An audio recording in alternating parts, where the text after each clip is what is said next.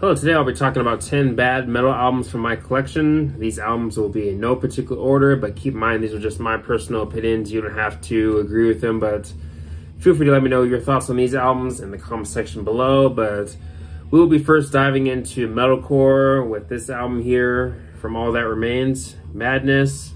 And this is one of their later albums, and to me, definitely a contender for maybe being their worst album. It would either be this one or The Order of Things, but this album sees the band continuing in their more radio rock slash radio metal direction. The album starts off in an okay manner with Safe House, which is maybe the heaviest song on here, or, or one of the heaviest. I mean, basically just generic chugs, but still an okay song though. And then you also have the title track, which I think is also alright. A decent radio rock, radio metal song. But the more you get into the album, the, more, the worse it gets. I mean, Trust and Believe I think is okay, but you definitely get some of the band's worst material by a landslide on here, like Back to You, which is sounds like some sappy radio country song that's just not something I'd want to hear from All That Remains. If I'm honest, uh, shows the band shows the band going for the more melodic side. And don't get me wrong, I, I, I like it when All That Remains goes more melodic, but with this song, just doesn't quite work for me. And then I think Halo is another decent track off here, probably one of the best songs on here. But you also have the, the cover of The Thunder Rolls, which I'm not a big fan of that cover at all. I know that cover does have its share of fans, but for me, not a fan. I'm not even a fan of the original either, so there you go. But yeah, Madness by All That Remains. Definitely not great. De easily one of the band's worst. But now we're moving into one of the big four with Anthrax, Volume 8, The Threat is Real.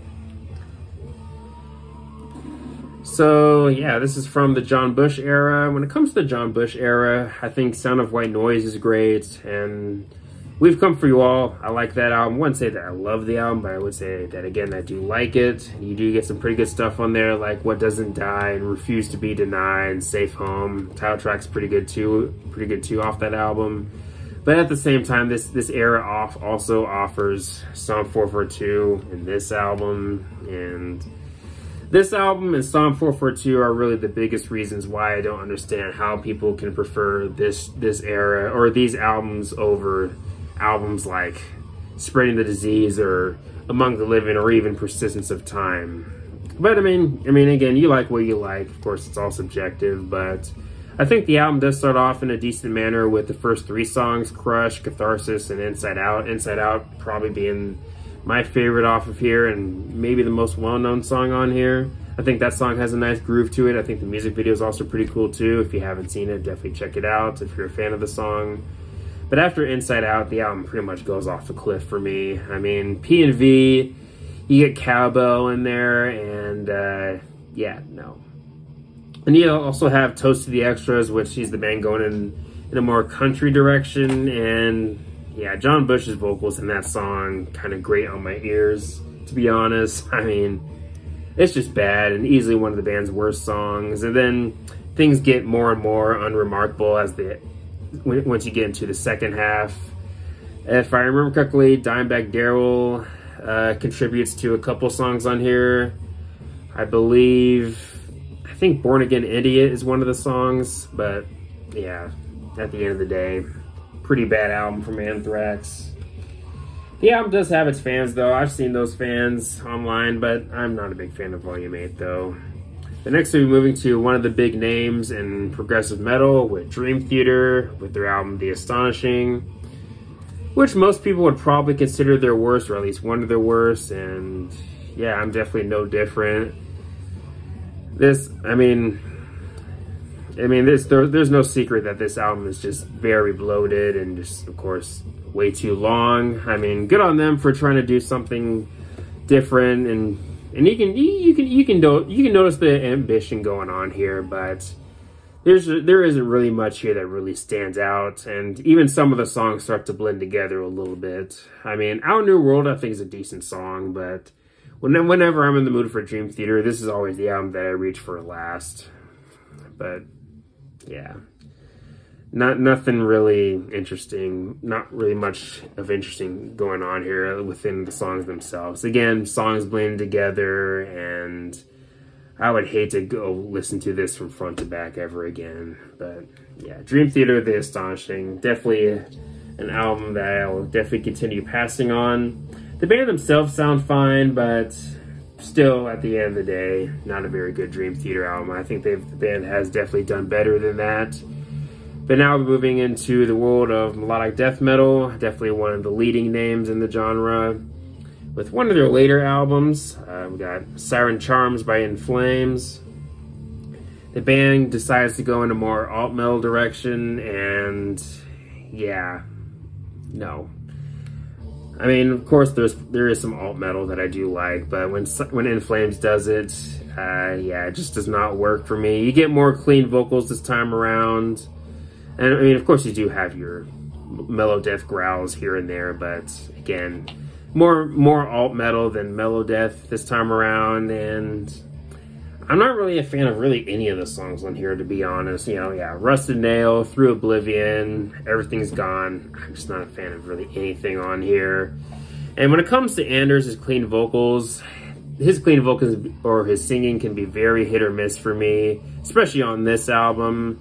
Sometimes I think his singing sounds actually pretty good, while other times I think he sounds maybe a bit too whiny, or I'm just not a fan of the way that he's sounding. But again, he does have his moments where he does sound pretty good, but this album for me, easy one of the band's worst. And the 2010s in general were just not that great for In Flames.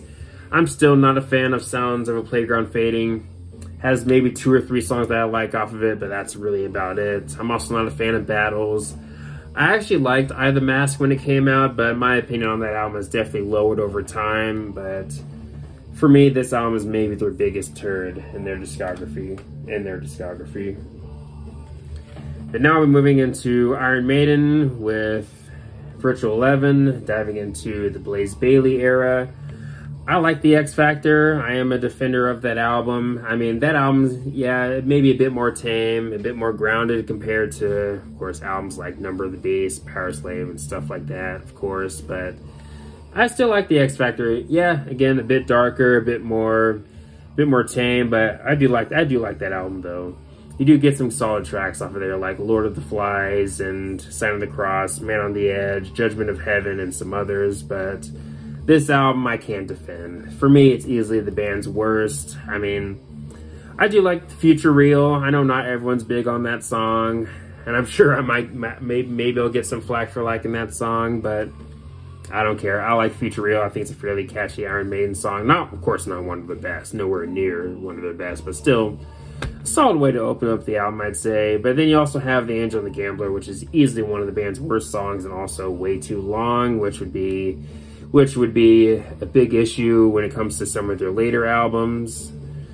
But Lightning Strikes Twice, I think, is also all right. Then I think then you also have The Clansman, which I think is easily one of the strongest songs on here. But yeah, Virtual Eleven, definitely a bad album for sure, and easily one of the band's worst.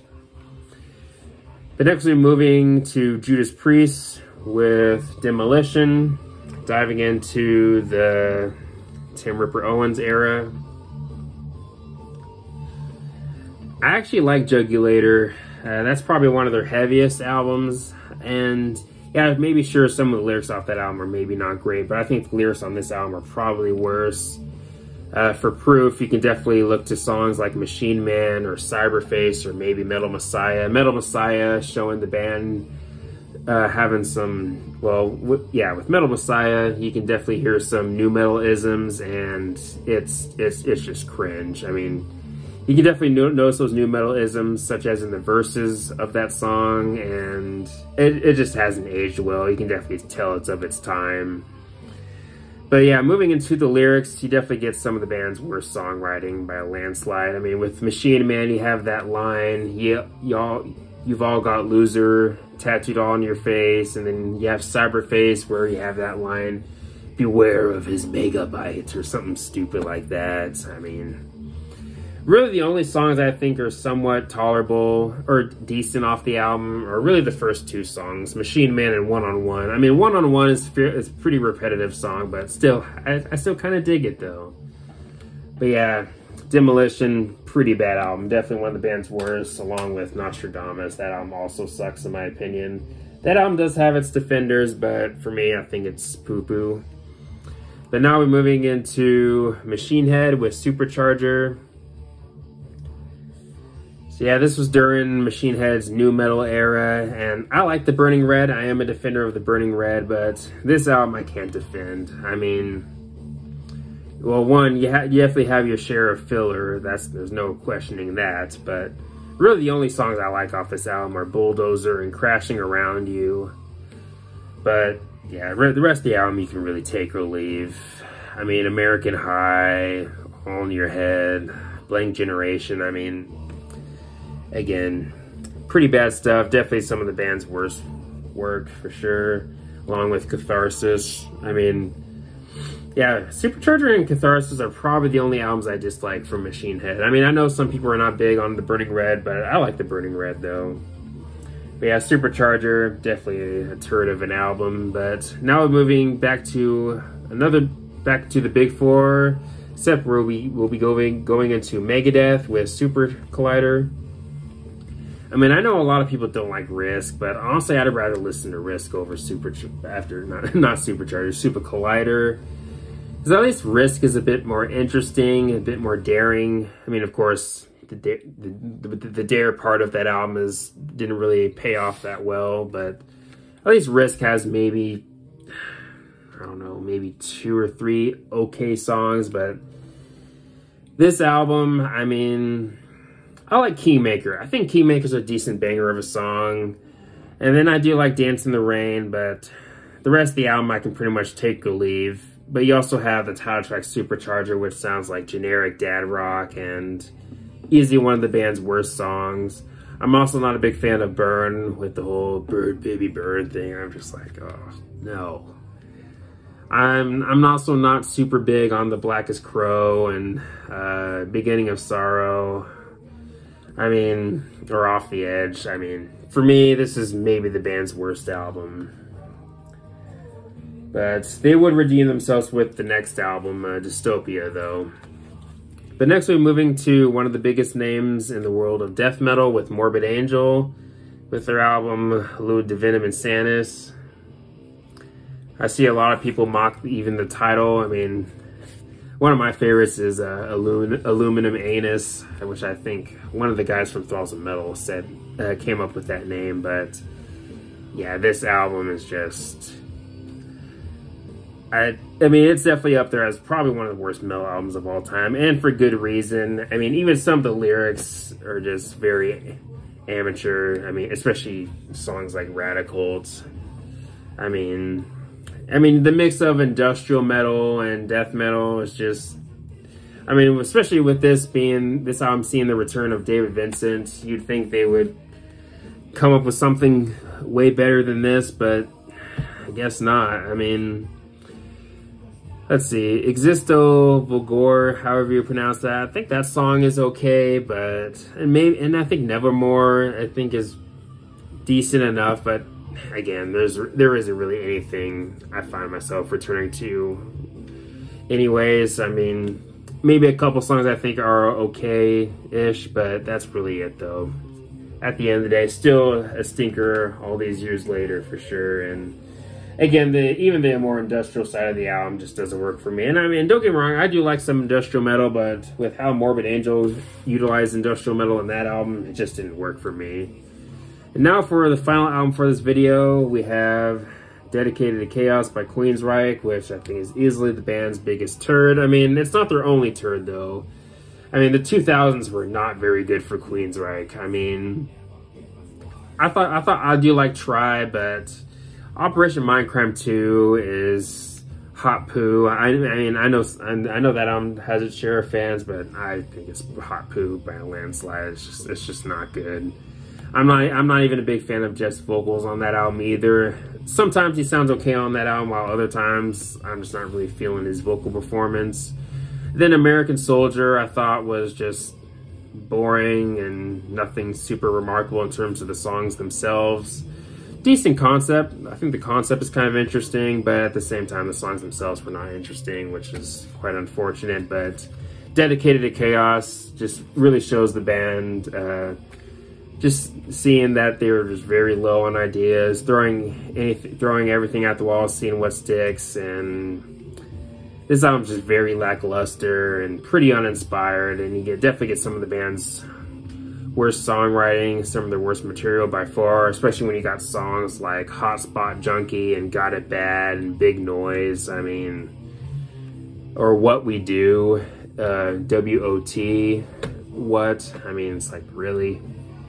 But yeah, this would be one of the final albums uh, with Jeff, and eventually the band would get their act together with the self-titled album in 2013, and they would go on to even do even better than that self-titled album with The Verdict and Digital Noise Alliance, and of course Condition Human. But this album definitely, honestly, I'd, I'd say up there with the Venom Insanus as maybe one of the worst metal albums of all time. I mean, again, it's pretty bad. I mean, 20, 2011 already was not a great year for metal, and this album definitely is one of the biggest turds of that year. But anyways, those are 10 bad metal albums from my collection. Let me know your thoughts on these albums in the comment section below. Do you love them? Do you hate them? Let me know if you like any, maybe any songs off these albums and all the good stuff. But anyways, thanks for watching. Please leave a comment and a like, subscribe, have a nice day and take care.